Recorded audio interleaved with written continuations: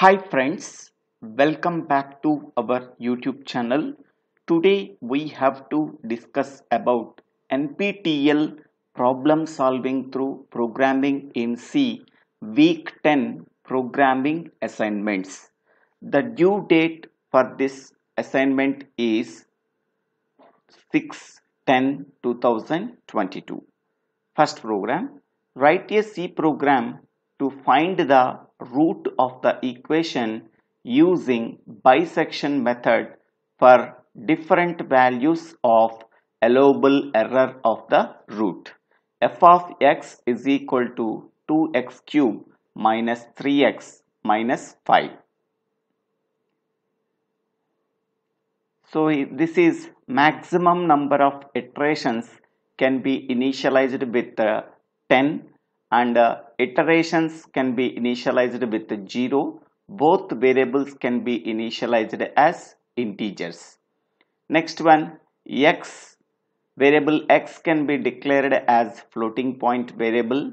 And a b x1 and uh, all error variables can be declared as floating point variables a variable can be initialized with 1.0 b variable can be initialized with 2.0 so all err variable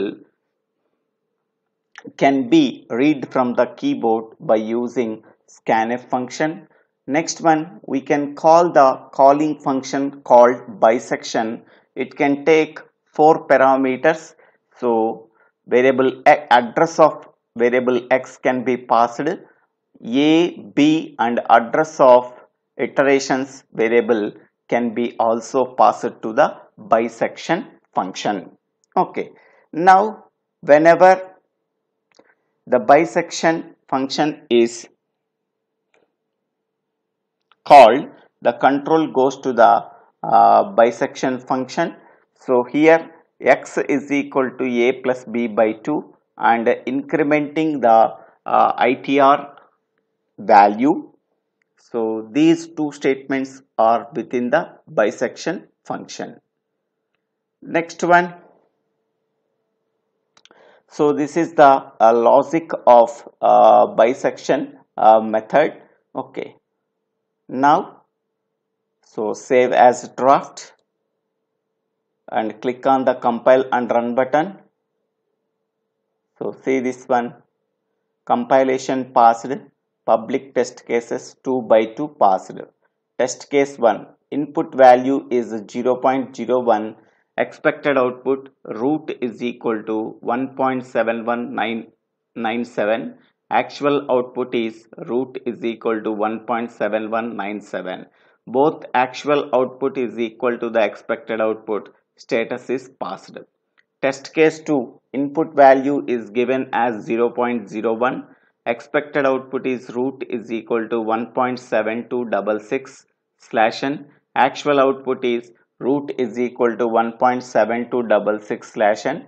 Both actual output is equal to the expected output so status is passed. Okay then we have to submit. So after submitting so test case 1 is passed. Okay then you can go for the second program.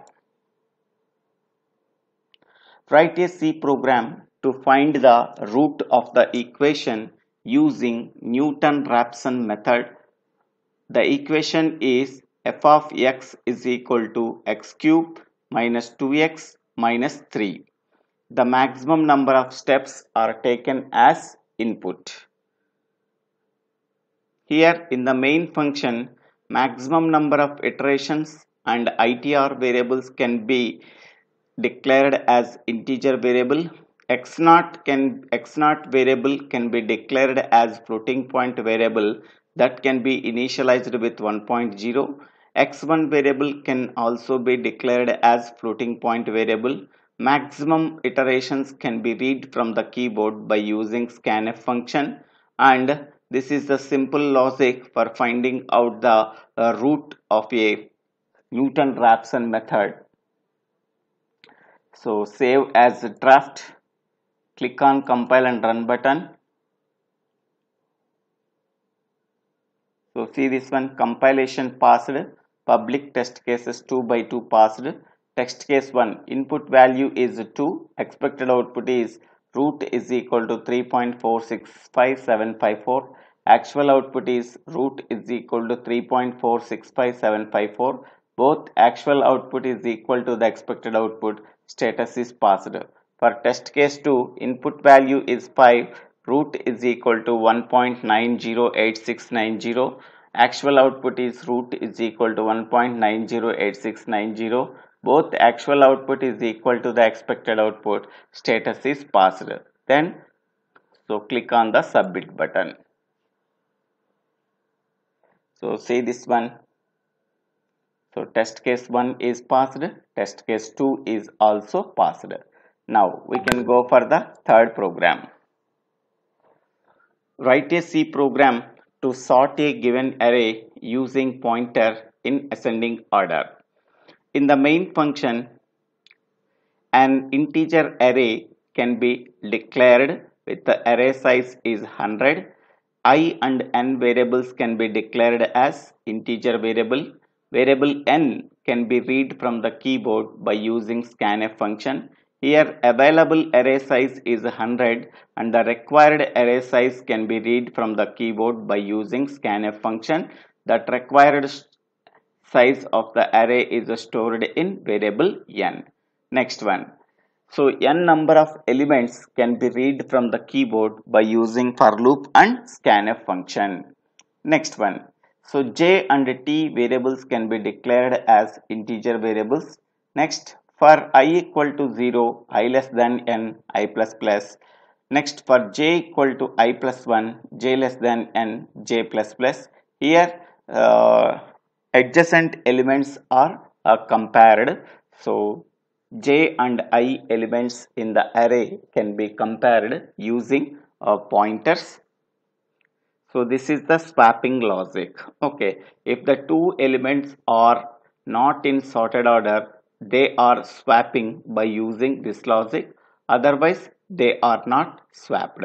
After uh, swapping of all the elements if they are not in sorted order so they can sort them. So after that we have to print the elements of the array.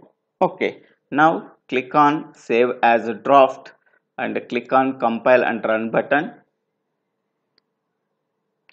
So see this one compilation passed. Public test cases one by one is also passed. Test case 1 input value so array size is 5 the 5 array elements are 20 40 50 30 10 expected output is so we are printing that uh, 5 array elements in reverse order. First 10 is printed next uh, 20 is printed next one 30 is printed next one 40 is printed uh, next one 50 is printed. Actual output is 10 20 30 40 or 50 both expected output and actual output are equal then we can say that status is passed okay now click on submit button. So here test case 1 is passed. In this program, so the same logic uh, without using pointers but by using pointers also we can sort the elements of the array. Okay. Next. Next we can go for fourth program. Write a C program to check if a 3 by 3 matrix is invertible. If the if the matrix is invertible then we have to find the inverse of a matrix otherwise we do not find out the uh, inverse of a matrix. A matrix is not invertible if its determinant is 0. First uh, we can take an integer array with row size is 3 and column size is 3 it is a two dimensional matrix. I and j variables can be declared as integer variable. Next we have to declare an variable called determinant. Its data type is long next one these uh, nine elements are read from the keyboard by using scanf function. Two for loops and scanf function. We have to read the nine array elements. Next one for i equal to 0 i less than 3 i plus plus. For j equal to 0 j less than 3 j plus plus. Here we have to check the determinant value. If the determinant value is equal to is equal to 0 we can say that the given matrix is not invertible. If this uh, determinant value is not equal to 0 then go to the else part print the given matrix is invertible. Okay so here we have to find out the determinant value. So once we are finding out the determinant value if it is a 0 if its value is 0 we can say that the matrix is not invertible so if the determinant value is not equal to 0 we can say that the given matrix is invertible. Okay. Now so click on uh, save as a draft and click on compile and run button. So see this one. So compilation passed. Public test cases 2 by 2 is passed. Test case 1 input value is uh, 9 array elements. So 1 2 3 4 5 6 7 8 9 okay. Here expected output is the given matrix is not invertible. Actual output is the given matrix is not invertible. Both actual output is equal to the expected output. So status is passed. In the test case 2 the nine array elements are 105 216 340 so expected output is the given matrix is not invertible and actual output is also the given matrix is not invertible. So both actual output and expected output both are equal then we can say that status is passed. Now we have to click on the submit button. So see this one. Test case 1 is passed. Test case 2 is also passed. So friends uh, please see the comment box for this video. I am writing the code for all the uh, programs four programs of uh, week uh, 10 programming assignment. And also one more link is there. So week 10 uh, quiz assignment or uh, quiz answers in separate link. So both are there in the comment box. Please visit the comment box for this video so i hope all of you understanding this video. So if you really like this video click on the like button and share this video to your friends and classmates. If you really like this video please subscribe my youtube channel Divvela Srinivasarao after subscribing my youtube channel so click on the bell icon to get the future updates in my youtube channel. So Divvela Srinivasarao thank you. Thank you one and all for watching this video